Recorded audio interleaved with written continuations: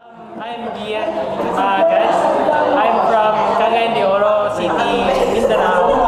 And um, I've been with street photography since 2012 nung sinali ako sa daan.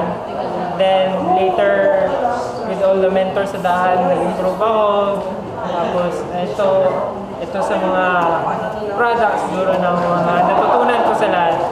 Um, yung story ng litrato nito, um, nagkaroon kasi ng, parang nag, nag-model shoot, ma- may, may model shoot yung mga kasama ko. Pero syempre naman ako, knowing as a street photographer, yung hindi ako kasi ba mahilig na mga ganun eh, kaya nag-BTS na lang ako kanya.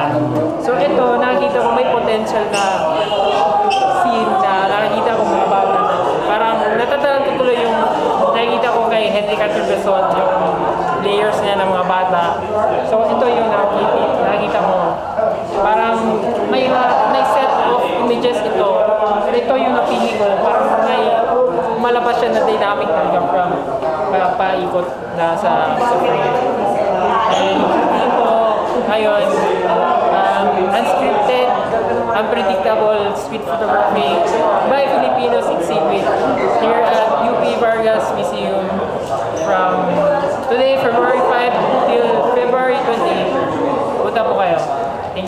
Quick tip about street photography. Quick tip, ano lang, um, wag lang wag lang tumigil pag may nakikita ka potential sa street. Kung anong ano man.